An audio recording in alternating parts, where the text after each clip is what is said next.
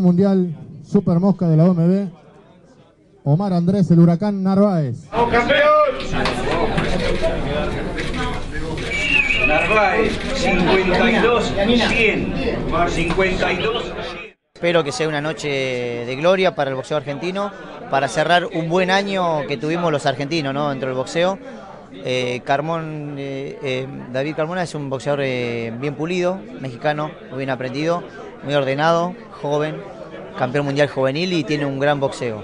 Así que yo creo que va a ser una linda pelea muy técnica. Estoy acostumbrado a pelear con boxeadores más grandes. Eso ya una, eh, yo soy mosca, más mosca que super mosca y dentro de los moscas me encontraba siempre con boxeadores más grandes. Es algo muy común. Ya me acostumbré a esa distancia y seguramente los primeros rounds cuesta un poquito, pero una vez que voy agarrando la distancia ya se va normalizando todo. Ahí arriba seguramente me voy a dar cuenta si se lo puede ganar ante el límite o no. Eh, yo subo siempre bien preparado para pelear los 12 rounds y dar espectáculo en todos los rounds.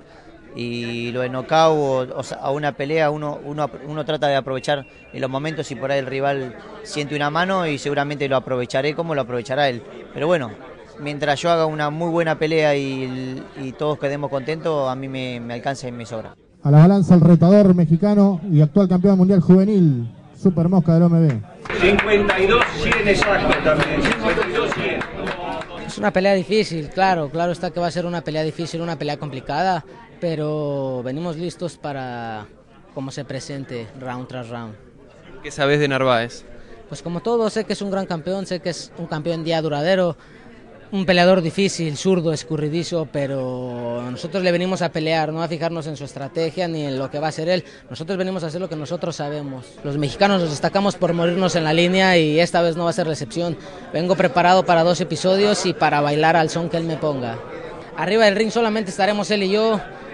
No hay mejor juez que el público y eh, yo estoy completamente seguro de que el título se va para México. El año que viene nosotros apuntaremos a los campeones Daiki Kameda y Libre Solís.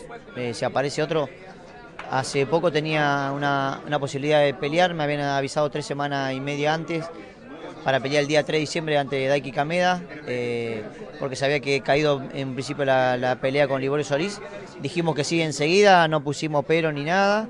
Eh, no preguntamos cuánto ni, ni nada, nada. Dijimos que sí y faltando dos semanas dijeron que no, algo medio raro y él salió a declarar después que yo peleé con el último japonés que me peleaba a mí en cualquier lugar. Eh, y acá le dije que sí en su casa y, echaron para atrás. Así que, pero no quita de que el año que viene eh, esté en nuestro programa o en la cabeza de ellos pelear con nosotros.